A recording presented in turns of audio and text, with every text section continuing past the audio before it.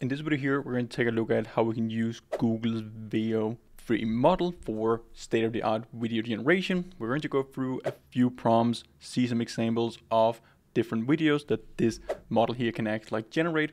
This is very good if you want to generate synthetic data for object detection, computer vision systems. So if you're in need of data, you can find different edge cases and so on. You can go in and generate it with the Veo 3 model from Google. These models here are only becoming better and better. They're getting more realistic and so on. So we're going to generate a few examples with the video model, and then we're going to see how we can process the videos, act like run inference with them with object detections from Ultralytics. So let's just jump straight into it. We can see we're on the Google DeepMind front page here, where we have the video model. They act like also just released another model called Genie 3, which is a frontier world model. So it basically just renders the whole model with visual language models, so just huge generative AI models pretty much, and then it generates a world that you can navigate around in. So you can actually control a character that is operating, that is act like interacting with the world that gets generated on the go.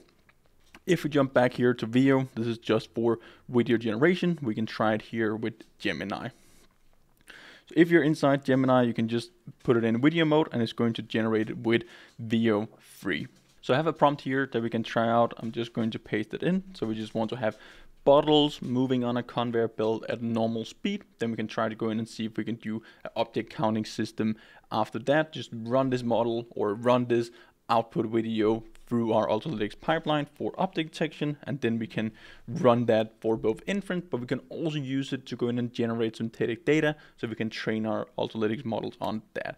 So let me just throw this in, bottles moving on a conveyor belt at normal speed, and it's just one big generative model. This is the best out there available right now. And even though it's the best now, it is the worst for the future. These models are only going to get better. We can see that it's generating my video and it will take one to two minutes. After done generating, let's generate one more example, see the output of them, and then set up a pipeline. So while it's generating here, we can go inside Ultralytics Solutions. There we go. We can just go to the Ultralytics front page. If you go inside the documentation, there we go. We have a bunch of different solutions. We have videos covering pretty much all of it. Could be object blurring, object cropping, workouts monitoring, object counting in regions. This is a pretty good one. So let's try to take a look at this. We have a dedicated video going over like a full code, everything that you need. Here we can see the different advantages. We basically just have regions where we're counting how many objects are within those regions. This can both be for a specific region. You can have people coming into a region, going out of a region, doing line crossings, zone crossings, and all that. This is all the code needed. It's just a few lines of code and once the videos are done generating, we're going to take these code snippets, throw it into our code editor and then run the videos through. Let's go back here. It looks like we have our results here. Now we can see play the video.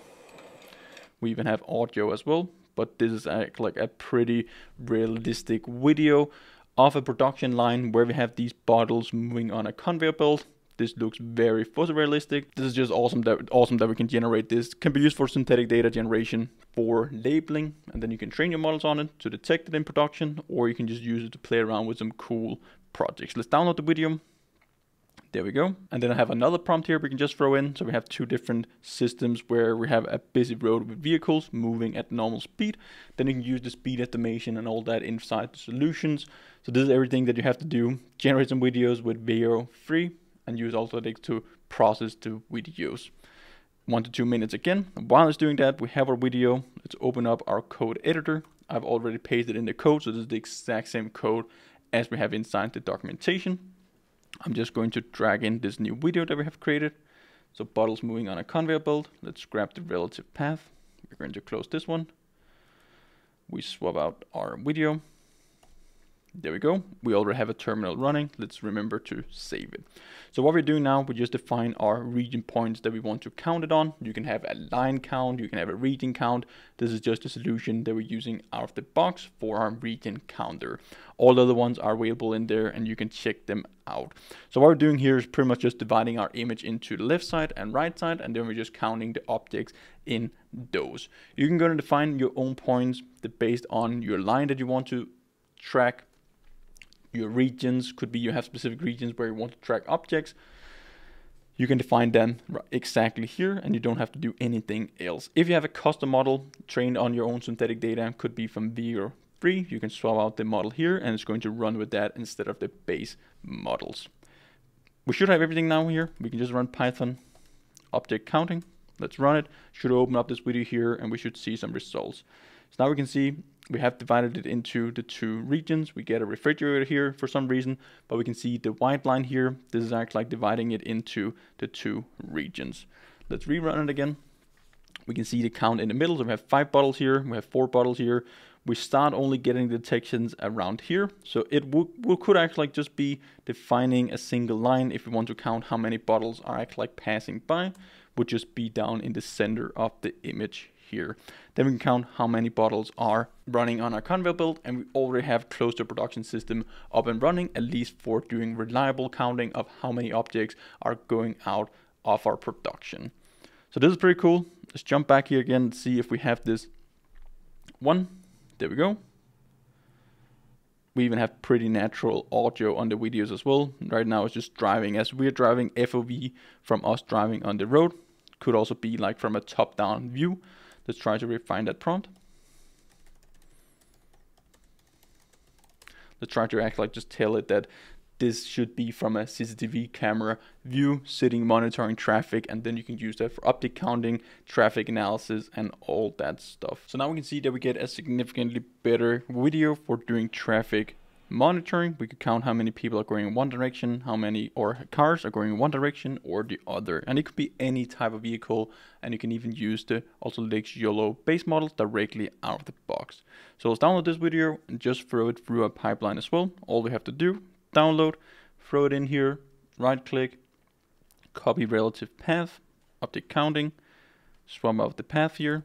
There we go, we save the file and we rerun a program. So now it's just gonna count them in the two regions. You can define your own regions. We have 15, 14, 13 cars in this region, and then we have 9, 10 cars here.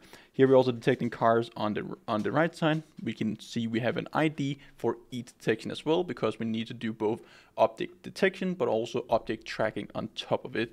This is going to make sure that we're not calculating duplicates because we don't really have any information about time if we're not tracking our objects. This can be used for so many different things, as I mentioned. Synthetic data generation for training your models, it can be used for inference, testing edge cases, and so on. So make sure you use these video generation models, especially the one here from Google Veo 3. It's a pretty awesome one. Check it out. You can use them with Ultralytics out of the box. It's a few lines of code and you have it up and running.